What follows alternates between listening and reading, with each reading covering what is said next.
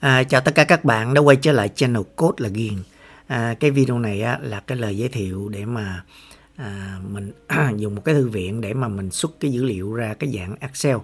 À, thì à, à, cái video này à, giống như là à, nói trước cái, cái cái cái mà mình sẽ làm. Ok, thế ví dụ như nó như, như, như thế như thế này, không?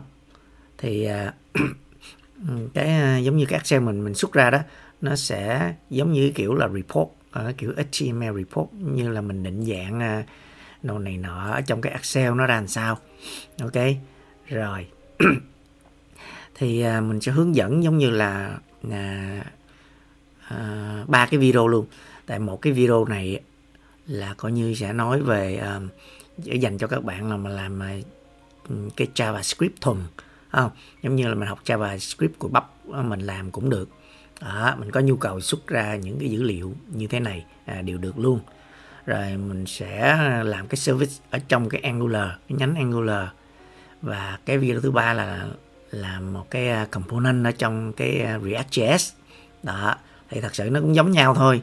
Nhưng mà có hướng dẫn nhiều cho các bạn lắm rồi. À, mình học giống như cái cơ bản thì cái bắt đầu mình muốn viết ở trong cái ngôn ngữ nào hay là mình muốn muốn viết ở đâu nó cũng nó cũng ờ, chín mươi mấy phần trăm là nó giống nhau hết trơn. Ok rồi à, ai mà có nhu cầu ờ, à, muốn xuất ra cái report đồ này nọ cho nó đẹp đẽ giống như à, thì theo dõi ờ, cái video này. Và cũng nói luôn cái này là giống như để um, đại khái là dành cho dân chuyên nghiệp. À, mình nói dân chuyên nghiệp nghe thấy ghê nhưng mà ý nói là bên ngoài thực tế à, khi mà đi làm á à, cần những cái thứ này thì dùng cái component này cũng được. Cái component này ngon. Ok rồi.